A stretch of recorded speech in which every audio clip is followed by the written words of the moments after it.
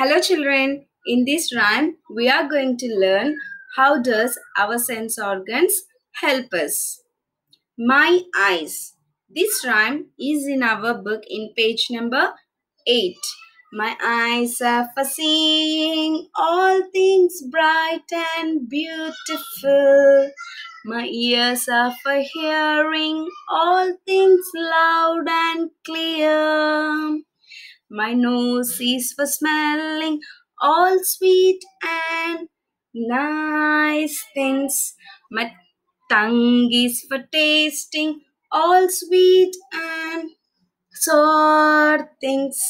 My hands are for touching all safe and good things. My eyes are for seeing all things bright and beautiful. My ears are for hearing all things loud and clear. My nose is for smelling all sweet and good things. My tongue is for tasting all sweet and sour things. My hands are for touching all good and safe things. Children, one more rhyme we will learn on my hands. Okay, this rhyme is in our book in page number 7. My I use my hands to wave. I use my hands to wave.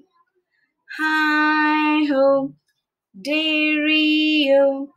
I use my hands to wave. I use my mouth to smile.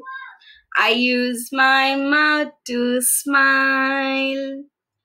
Hi ho, dairy I use my mouth to smile.